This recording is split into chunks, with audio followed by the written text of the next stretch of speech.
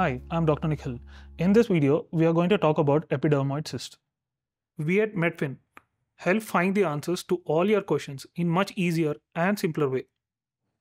Cysts are sac-like pockets of membranous tissue that contain fluid, air or other substances. They can grow almost anywhere in the body. Cysts are of various types and they are generally benign and non-cancerous. One of the types is the epidermoid cyst, which we'll be discussing in this video. So what is epidermoid cyst?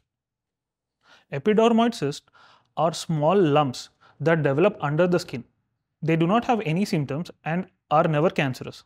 These cysts are often found on the head, neck, back or genitalia.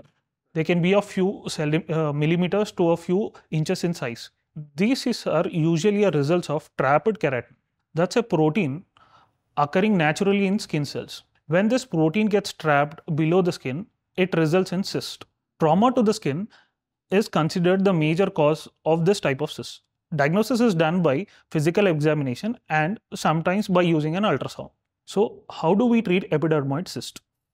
Cysts are often left untreated until they cause any discomfort or cosmetic problems. In case treatment is needed, here are some of the treatment options for an epidermoid cyst.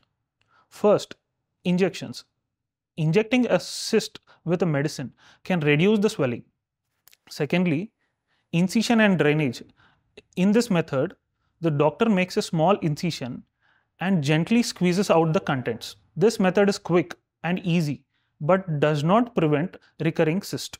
And third, minor surgery. The doctor can remove the entire cyst through minor surgery, which is both safe and effective. It also prevents the cyst from recurring. There are no effective home remedies for the cyst. So, whom should I contact for an epidermoid cyst? A general surgeon should be contacted for an epidermoid cyst. If you are looking for one, do contact Medfin to get an appointment booked with the best general surgeon in your city. We make sure that you get everything from the best facilities to the best surgery experience here at Medfin. You can watch our other videos to know about all the cyst types. Links to the same are available in the description below.